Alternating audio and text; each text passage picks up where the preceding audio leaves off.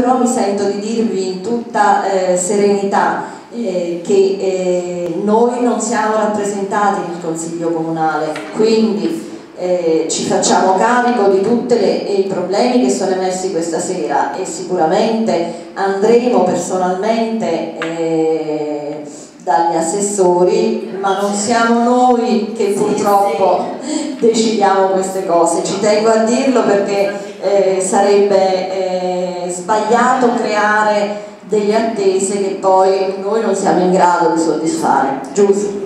E tanto uno